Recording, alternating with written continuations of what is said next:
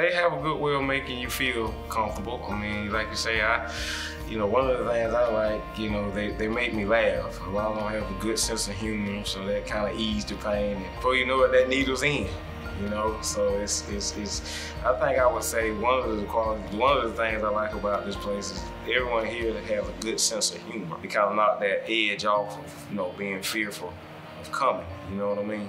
I would, I would say, you know, that's one of the things that help knock that anxiety edge off. It's just they have the ability to keep you keep you happy. You know what I mean? Versus keep, keeping your mind on I'm finna get this work done to my mouth.